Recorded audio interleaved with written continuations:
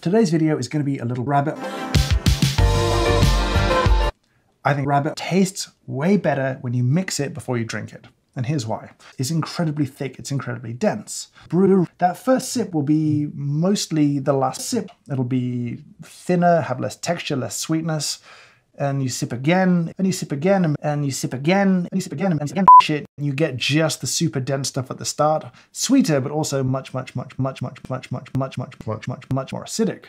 So you get three evolving, interesting, but ultimately unsatisfying sips of your rabbit. Or mix it all together before you drink it, and that way every single sip is shit. But that's very subjective. Maybe there's an objective way to test my hypothesis. And I think there is. So here's what I did. Pulled two shots, I left one alone, stirred the other. I then pulled two or three mils of liquid from the very top of the rabbit of each one, and I tested the strength. And there was a huge difference between the two, like massive. The unstirred shot, that top layer was about 8% strength. The stirred shot was closer to 8% strength, like a massive difference in strength there.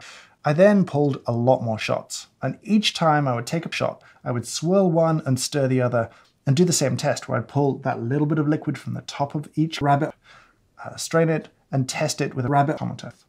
But that isn't what happened. Every single time I would take a shot, that top layer was stronger than in a swirled shot, implying that there was much better mixing in that shot than the other. There wasn't a huge difference between the two.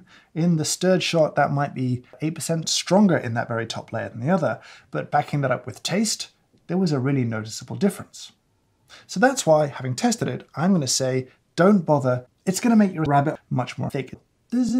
Get a rabbit and stir it. And if the cafe doesn't give you one, you should ask for one.